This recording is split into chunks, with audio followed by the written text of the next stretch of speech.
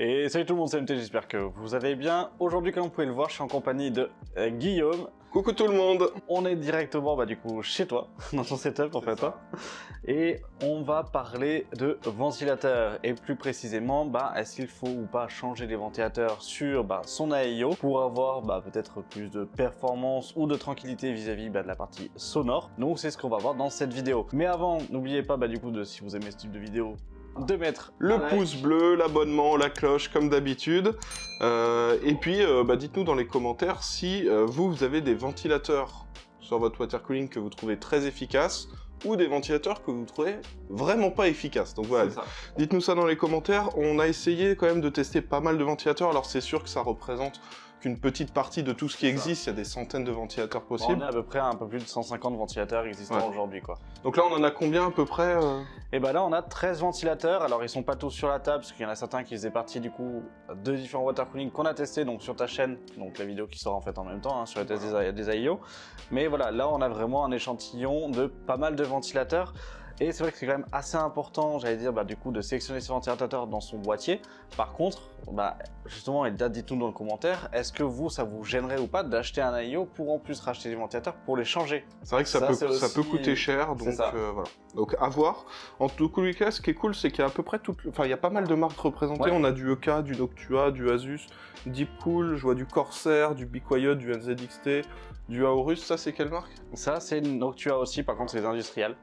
Voilà. On va avoir aussi bah, du TT et du Corsair qu'on a vu en fait euh, directement, ainsi que les Halo par exemple en fait de couleur master. Donc là, qu'est-ce qu'on a fait? On a fait test de performance sur quel logiciel? Alors au niveau de test de performance, on a fait tourner en, donc à 100% du coup tous les ventilateurs, donc sur l'IO à 100% au niveau de la pompe pour pas que la pompe soit bridée, et c'était uniquement sur Cinebench R20 pendant 10 minutes. Donc tous les tests ont été effectués à chaque fois pendant 10 minutes avec 5 minutes de pause, le temps simplement bah, du coup de changer les ventilateurs, de laisser refroidir aussi en fait le système pour repartir de zéro. J'ai pris des températures directement donc en idle, c'est-à-dire sans le coup en fait logiciel qui tourne uniquement sur le bureau de Windows.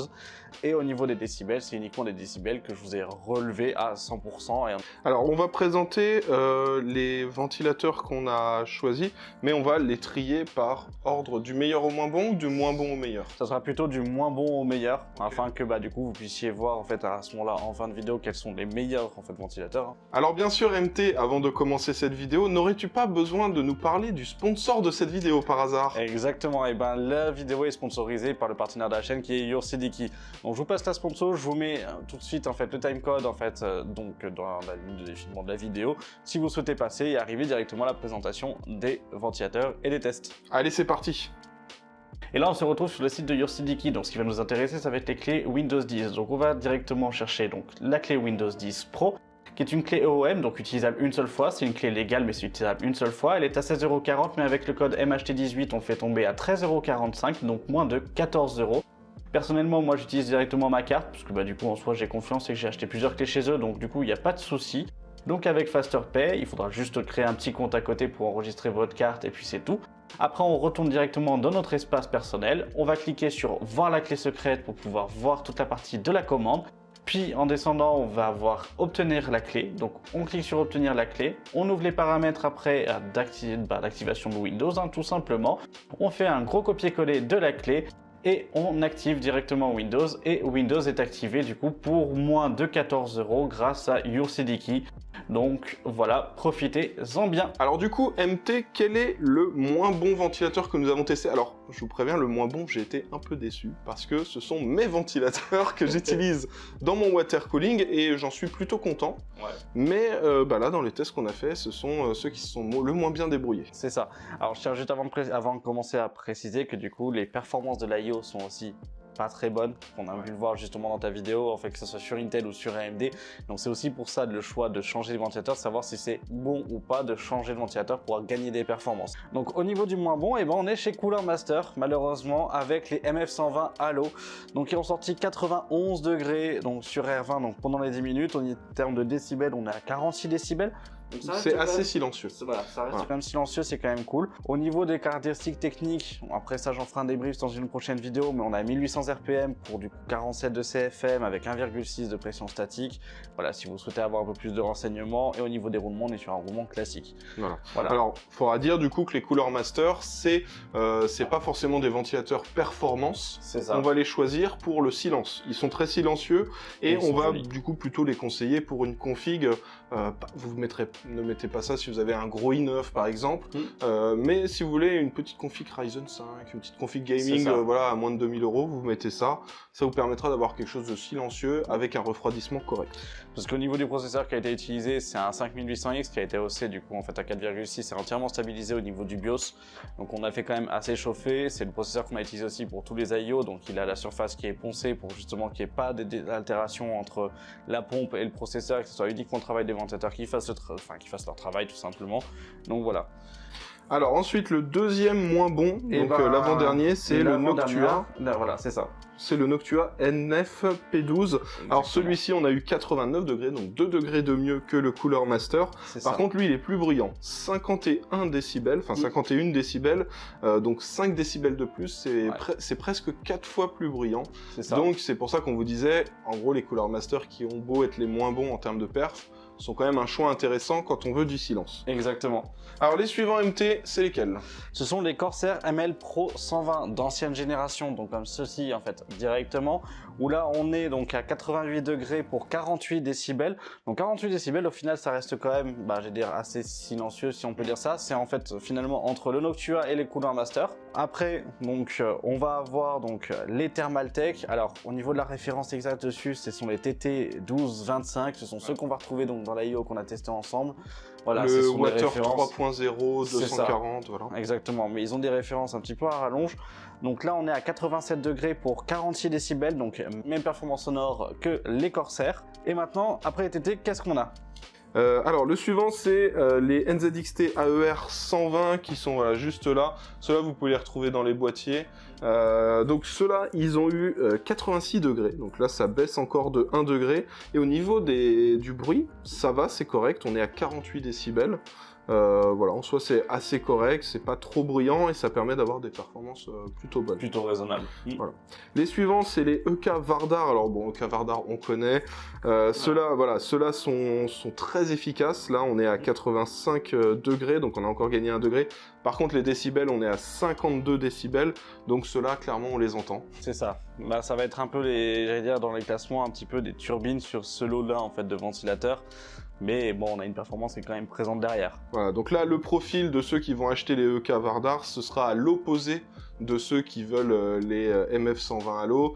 Euh, là, ça va plus être ceux qui recherchent de la perf et euh, qui s'en fichent un petit peu du bruit. Même si, bon, en soi, ils sont bruyants, mais c'est pas, euh, c'est pas ultra ultra bruyant, mais ça reste quand même des ventilateurs qu'on entend pas mal. Les suivants, donc c'est Deep Cool, c'est ça C'est ça. Alors les Ça Deep Cool, ils sont assez particuliers. Ceux-là, quand je les ai vus, je me suis dit tiens, assez spécial, euh, voilà. Euh, donc les Deep Cool, 84 degrés et 54 décibels. Alors là, encore plus bruyants que les Vardar. Ceux-là, on les entend et euh, qu'est-ce que t'en penses? Ils sont pas foufous. Hein. Bah en fait, ils sont pas fous et c'est vrai que dans la façon de fonctionner, déjà d'une au niveau du câblage, faites attention à pas laisser un câble parce que du coup ils vous le déchiquetent directement. Au niveau des vis, ce sont pas des vis classiques de ventilateur qu'on va utiliser, donc pas les vis transversales, ça va être des vis de boîtier qu'on va carrément en fait mettre dans le rad.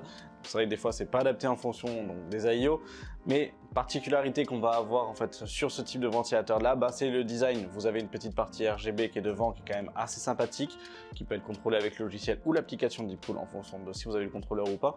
Mais c'est vrai que, bon, voilà, personnellement, que ce soit d'un point de vue performance, bof, d'un point de vue design, si vous avez un petit Je processeur, pense que certains oui, peuvent aimer. voilà, Certains peuvent aimer au niveau du design, mais il y en a beaucoup qui vont pas ça. du tout aimer. Donc voilà, mais clairement, c'est pas les plus performants et ils sont quand même assez bruyants. Exactement. Ensuite, on est ah, on est sur les XF 120 de chez Asus. Donc c'est ceux avec lesquels on avait fait les tests avec. Jixio et euh, bah, pour les water cooling. Euh, en soi, ceux-là, alors ce qui est bien, c'est qu'ils sont silencieux. Là, on se retrouve quand même avec des bonnes perfs, enfin 84 degrés, on arrive dans le haut du classement. Et par contre, euh, bah après, je vous préviens, il n'y en aura aucun qui sera plus silencieux que celui-là. Là, on est à 48 décibels. Euh, les suivants, ce sera du 52 décibels minimum, donc euh, bah, plus du double. Euh, donc clairement, voilà, là, ça, c'est pour des des performances assez bonnes.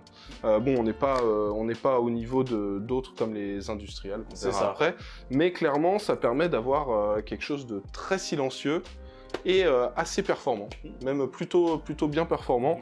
Donc ça reste une bonne solution. Bon là, on n'est pas sur des ventilateurs RGB malheureusement. Mais c'est là où, c'est là où après on va passer à un côté technique, j'allais dire au niveau des RPM. Tous les ventilateurs qu'on vous a présentés à partir jusqu'à celui-ci, on était au maximum, sauf une exception, donc les Corsair, on était au maximum en fait à 2000 RPM, alors que les Corsair sont à 2400. Les Asus sont à 1800 en fait RPM.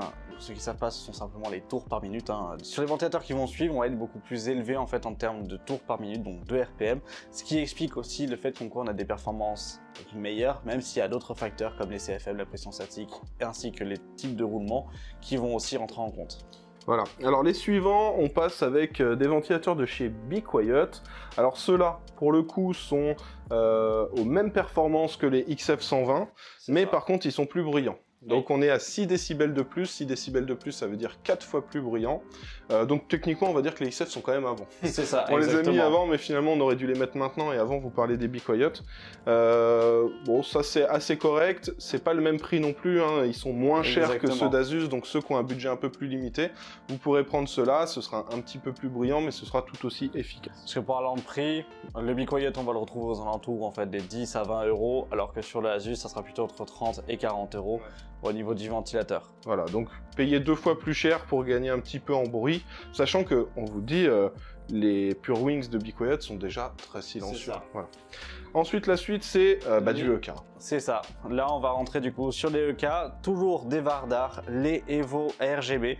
Donc là, en plus, on a du RGB pour toi, Guillaume. Exactement, là c'est parfait. Celui-là, c'est le meilleur. hein. Voilà. Et en gros, bah là, en fait, en termes de température, on est à 83 degrés pour 52 décibels. Donc quand même assez bruyant aussi.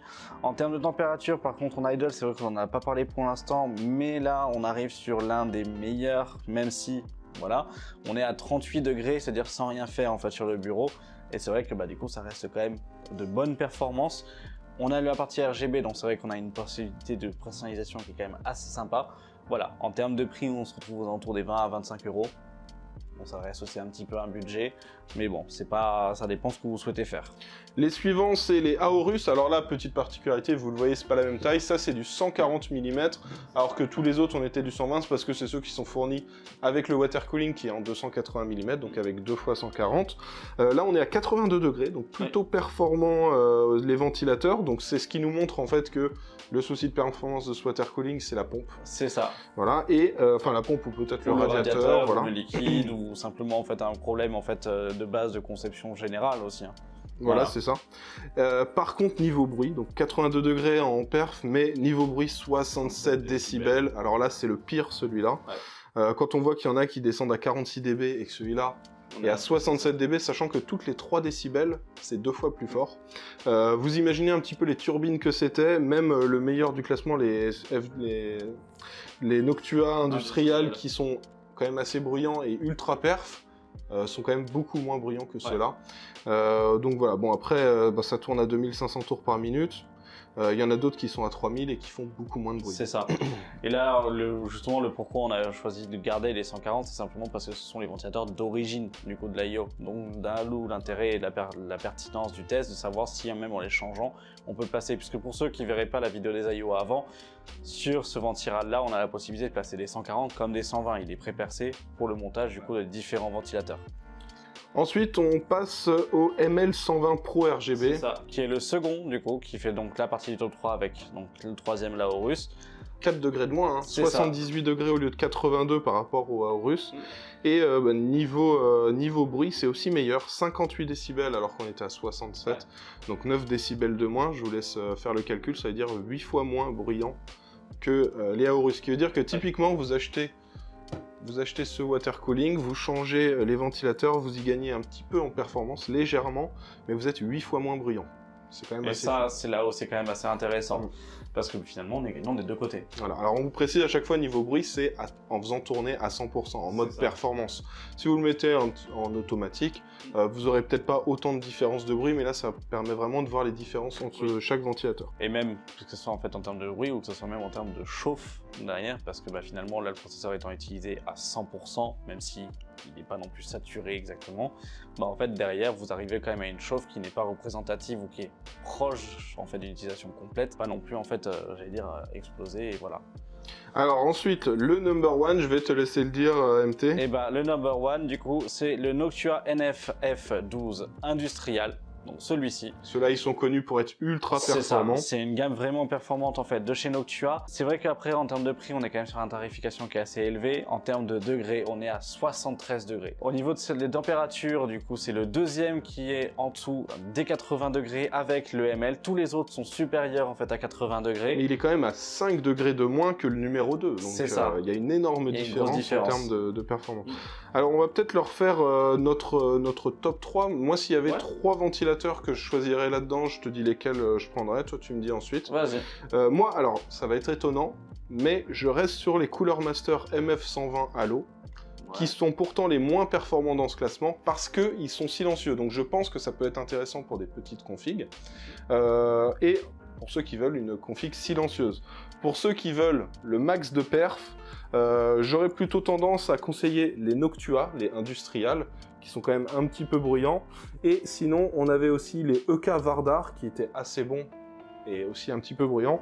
Et euh, on va dire que le, le, juste milieu entre les deux, bah, au final, c'est les Asus. T'as bien fait de mettre un t-shirt Asus. Alors ce n'est pas du tout sponsorisé par Asus, euh, il n'a pas reçu les ventilateurs, euh, c'est moi qui les ai reçus. On a pu les intégrer grâce à ça. Euh, mais voilà, les Asus, je pense que ça va être le juste milieu. Bon, comme je t'avais dit, pas de RGB, c'est dommage. Mais clairement, si vous avez un gros budget, parce que c'est quand même un certain prix, là vous avez le juste milieu entre le silence et les performances. On a des bonnes performances, on a un silence qui est, plutôt bon. Qui est plutôt bon. Donc, donc bah, pour moi, c'est le juste milieu. Il manque juste un peu de RGB. Bah, en fait, moi je vais te rejoindre un classement avec un petit peu différent, c'est-à-dire que pour moi, si vous devriez choisir trois ventilateurs silencieux avec des performances qui soient en fait, j'allais dire correctes, on partirait avec du Be du Noctua ou du Asus, avec quand même une préférence du coup pour les Asus ou pour les Noctua classiques. Les industriels font trop de bruit, même si vous avez quand même un gain de performance qui est quand même assez bon. Et au niveau de la partie, j'allais dire vraiment performance pure, partir, il faudrait mieux partir à ce moment-là sur des Noctua sur des EK avec la partie RGB ou non en fait directement, ou directement avec des Corsair, où là c'est quand même assez sympathique aussi parce qu'on va avoir la version RGB comme non RGB, et là la version RGB est quand même très bonne avec les ML120 Pro, donc c'est vrai que voilà, moi je partirais plus sur cette partie là, après c'est vrai que ben, typiquement si vous achetez chez Corsair vous avez l'écosystème à avoir avec le Corsair Commander Pro ou autre, donc c'est vrai que ça rajoute des frais, les ventilations sont chères, chez Asus, vous avez malheureusement pas de RGB, désolé Guillaume. Eh oui. Mais c'est vrai que bah, derrière, on a quand même une performance et on est sur des ventilateurs PWM, donc compatibles avec toutes les cartes mères, pas de problème du coup de compatibilité de câble ou autre. Pareil pour Noctua, par exemple, par contre, c'est vrai que ça peut déranger. Comme vous pouvez le voir, presque tous les ventilateurs sont noirs ou autres, sauf celui-là qui est un peu crème marron, euh, café bizarre. Là, récemment, ils se sont mis à faire des ventilateurs noirs, c'est bon signe, c'est cool, et euh, je crois pas qu'ils soient plus chers en plus ces versions noires. Non, ils sont pas plus chers en fonction des modèles. Après, ça va dépendre, mais c'est vrai que du coup, ça peut déranger parce que les versions noires ne sont pas disponibles sur toutes les déclinaisons. Voilà. Donc après, c'est vraiment à faire, j'allais dire, votre choix et à voir du coup en fonction aussi des performances de l'IDEO que vous avez possiblement bah, soit acheté sur les conseils du coup de nos vidéos qu'on a fait ensemble en fait avec G-Show ou simplement bah, celui que vous avez, de savoir bah, est-ce que finalement vous pouvez pas passer au-dessus et déjà au moins avec ce classement savoir quels sont ceux qui sont au-dessus de ceux que vous avez déjà possiblement du coup dans votre PC. Bon, bah, on a fait un bon résumé, je pense, de ces, de ces ventilateurs. Dites-nous dans les commentaires si vous voulez une partie 2 de cette vidéo, où là, il y aurait, je sais pas, 30, 50 euh, ventilateurs différents testés, on pourrait essayer de faire ça.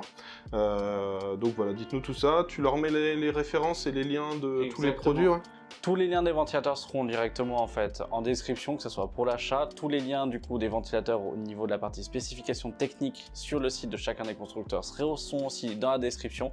Donc n'hésitez pas à aller voir s'il y en a un qui vous intéresse et si vous voulez justement comparer. Attention, je tiens aussi à préciser une chose au niveau des décibels parce que là vous allez voir que ça va changer entre ce qu'on a dit et ce qu'on vous a affiché avec le tableau et ce qu'il y a sur les références constructeurs. Car comme on l'a dit dans la vidéo des AIO, quand on fait un test sonore, nous on l'a effectué à 15 cm du côté latéral latérale en fait de la IO, mais on ne sait pas dans quelles conditions sont testés aussi au niveau des décibels leurs ventilateurs. Donc c'est vrai que c'est un petit C'est un peu différent. Ça se trouve, eux, ils, le testent, euh, ils le testent, ils mettent euh, le micro à 1m50. Nous, on est à 15 cm. C'est normal qu'il y ait plus de décibels. Globalement, nous, on affiche plus de dB que ce qui est affiché sur les ça. sites. Mais sachez que toutes les dB qu'on vous a données ont été calculées dans les mêmes conditions. Donc, vous êtes sûr d'avoir le bon positionnement pour euh, les ventilateurs. Voilà. Bon. On n'oublie pas le pouce bleu, on n'oublie pas l'abonnement et la cloche, hein, parce que t'allais Ouais. oublier, j'ai vu que t'allais oublier. Exactement. Euh, et puis tu leur sors quand? Euh, La prochaine vidéo et tu vas leur parler de quoi? Est-ce que tu sais déjà? Et ben à ce moment-là, la prochaine vidéo, ça sera vraiment un tuto, j'allais dire conseil sur comment vous allez choisir vos en fait ventilateurs. Cette vidéo sort le jeudi, du coup, et donc ça sera la prochaine vidéo qui sortira le lundi, donc euh, sur ma chaîne en fait à 4h30, 5h en fait dans ces eaux-là. Et comme ça, au moins, vous allez pouvoir, pouvoir toutes les clés en main pour pouvoir sélectionner vraiment vos ventilateurs et comment, bah, j'allais dire d'un point de vue caractéristiques techniques, fiches techniques, les sélectionner. Ok. Voilà. Donc n'hésitez pas à ce moment-là aussi à suivre Guillaume sur ses réseaux sociaux si c'est pas déjà fait. Sur les miens, bah du coup vous avez tout en description et de toute façon il s'affiche là. hein, N'hésitez pas à suivre MT voilà. dans la rue si vous le croisez aussi. et puis, euh, bah, bah, on vous dit à bientôt pour une nouvelle vidéo. c'est ça. Ça. Allez, ciao tout le monde Ciao